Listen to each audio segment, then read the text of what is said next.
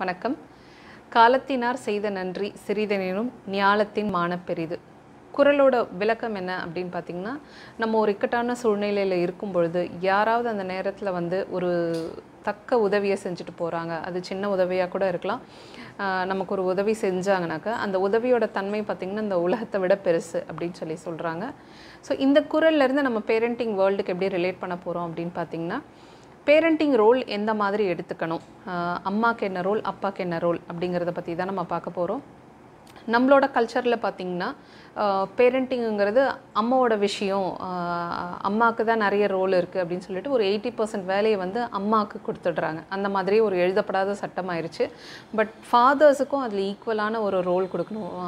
பாதி வேலை அம்மா செஞ்சாங்கன்னா பாதி வேலை அப்பா செய்யணும். அந்த அந்த மாதிரி தான் இருக்கணும். அதுதான் பேரண்டிங் ரெண்டு பேரும் சேர்ந்து செய்கிறது தான் பேரண்டிங் இப்போ நிறைய குடும்பங்கள் முன் வராங்க. நிறைய குடும்பங்களில் அப்பாங்க வந்து முன் வர முன் வந்து அந்த குழந்தை வளர்க்குறதுல ஹெல்ப் பண்ணுறாங்க பட் இன்னும் சில ஃபேமிலிஸ் பார்த்தீங்கன்னா பின்தங்கி தான் இருக்காங்க.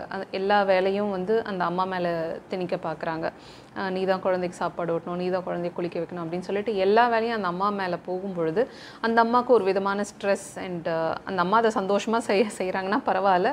அப்படி இல்லை நான் மட்டுமே எல்லாமே செய்கிறேன் அப்படிங்கிற மாதிரி அந்த அம்மா எடுத்துக்கிட்டாங்கன்னா அது அவங்களுக்கு வீணான டென்ஷன் தான். ஸோ இந்த நேரத்தில் நீங்கள் ஃபாதர்ஸ் வந்து ஒரு தாயுமானவனாக மாறி உங்களால் முடிஞ்ச சின்ன சின்ன ஹெல்ப் நீங்கள் ஆஃபர் பண்ணணும்.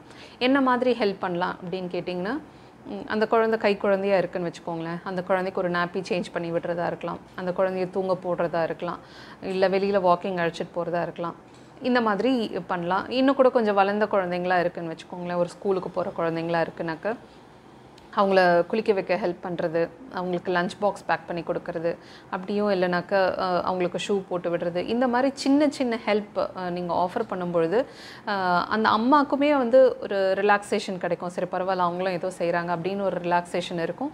அதுவும் இல்லாமல் ஒரு சாட்டிஸ்ஃபேக்ஷனும் இருக்கும். அந்த அம்மாவுக்கு பரவாயில்ல அவ்வளோ அவரும் வந்து ஒரு ஈக்குவல் ரெஸ்பான்சிபிலிட்டி எடுத்து செய்கிறாரு அப்படின்னு ஒரு சாட்டிஸ்ஃபேக்ஷனும் இருக்கும்.